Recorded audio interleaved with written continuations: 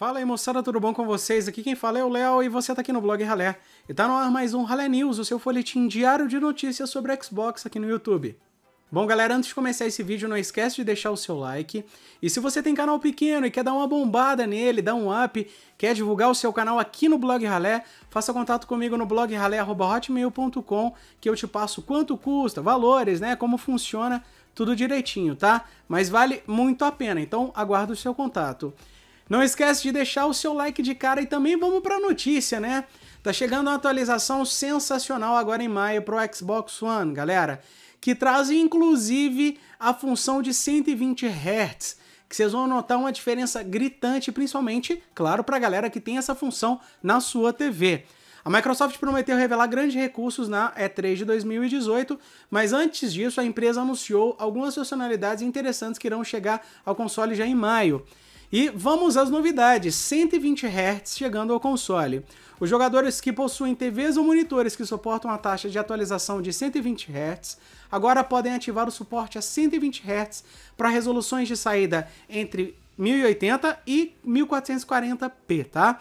Essa taxa de atualização significa que agora você pode aproveitar ao máximo os monitores com recurso, né, que tem esse recurso de 120 Hz, para que possa exibir, exibir até 120 quadros por segundo agrupando os seus jogos e aplicativos. Os jogadores haviam solicitado por novas maneiras de organizar né, uh, os pins lá, a sua biblioteca de jogos também, aplicativos, e para isso a empresa está introduzindo um novo e poderoso aprimoramento para os pins, que ganhou o nome de grupos. Com essa funcionalidade nova, você vai poder colocar jogo e aplicativo junto editando clipes diretamente no guia, galera. Muita gente aí é, não tem um programa de computador bom para editar, ou não tem até mesmo um computador bom para editar, mas gosta de compartilhar suas aventuras no Xbox aí.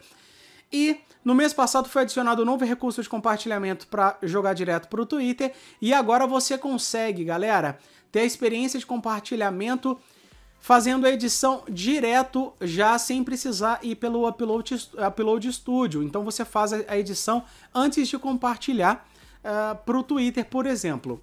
Configurações familia familiares aprimoradas para a galera que é papai, aí, os papais ralezeiros. Foi adicionada a página Detalhes, onde os pais podem encontrar e gerenciar facilmente todas as configurações da família no Xbox.